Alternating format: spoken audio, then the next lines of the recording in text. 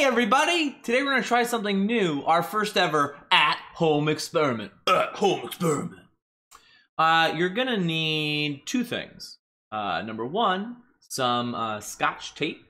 You can see this is just sort of standard uh, tape, uh, as well as a thin strip of Okay, only two things that you're gonna need for this experiment, uh, and also uh, a pen. Now, uh, you probably don't have an amazing uh, Battle Pikachu pen uh, like I have here, uh, but any pen will do.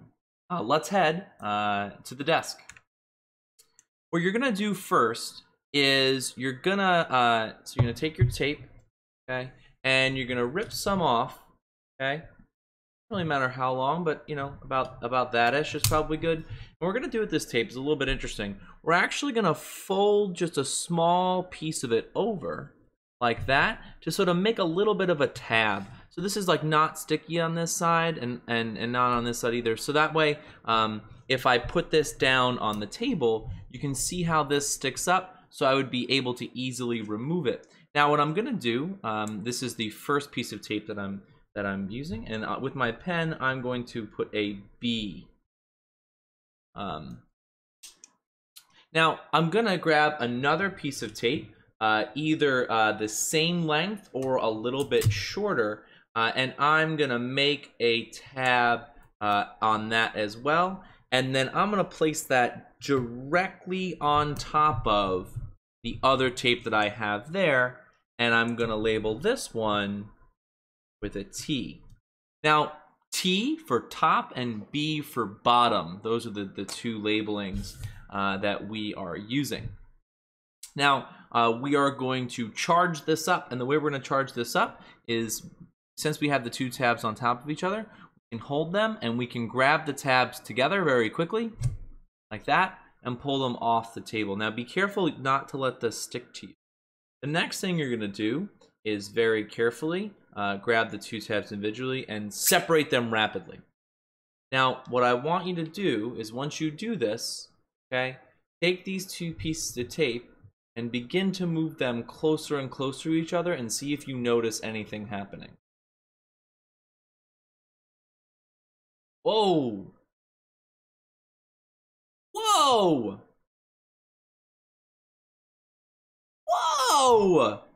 That is crazy. If you touch them too much, uh, all you have to do is place them uh, back down uh, on the table, uh, and you can you can place them back down on the table, uh, rub them back in, and rip them off, and that'll recharge them. So let's talk for a minute about what we observed, right? So if you observe, the two pieces of tape are coming together because they're coming together, we know there has to be a force, right? Things don't accelerate. Mass doesn't just accelerate unless there's some net force going on here. So that means there has to be something going on uh, to bring these together. Now, it could be gravitational attraction, maybe. But let's do another experiment to really try to figure out what's going on here.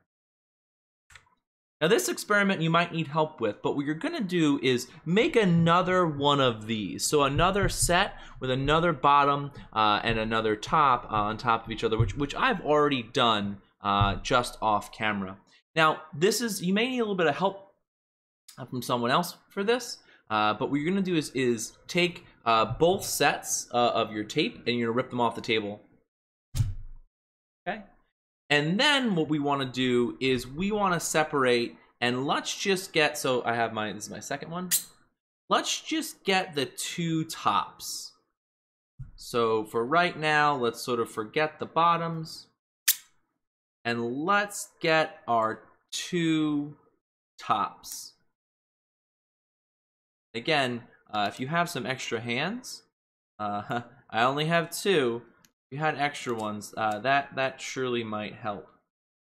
So if we take these two top tapes, labeled T, also labeled T, right? We bring them together, let's see if there's anything interesting that will occur.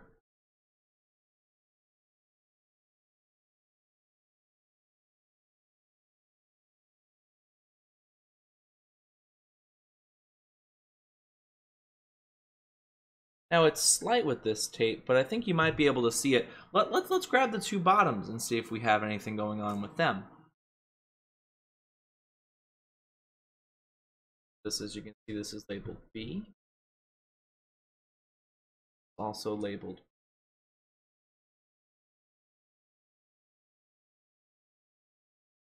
But with this one, you can see it a lot more. Watch that piece of tape if I hold it still and bring this stuck to me.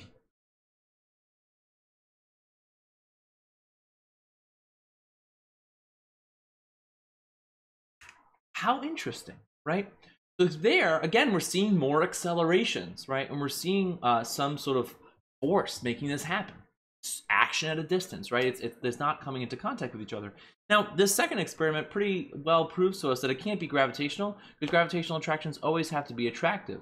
This, to me, looks like an electric interaction, right, based off of Coulomb's law.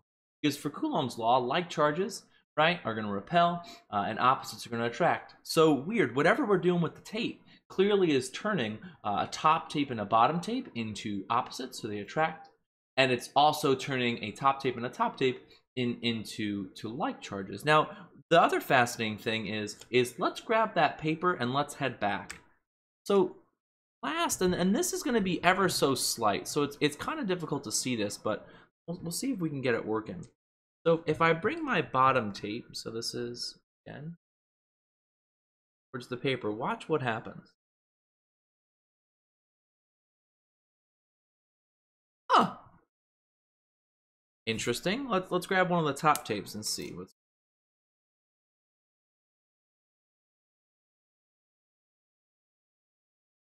It's ever so slight with these top tapes. But see that little pull right there? Ever so slight.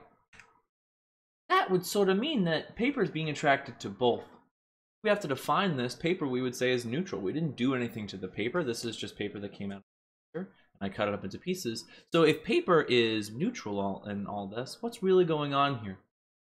When we talk about charge, we're going to use the words excess or deficiency of the only charged particles that are allowed to move, which are electrons. If you remember, there are three charged particles, protons, neutrons, and electrons. Protons and neutrons are locked in that nucleus. They're not going anywhere. So because they're locked there, the electrons are the ones that are freely floating around and we can get those to move.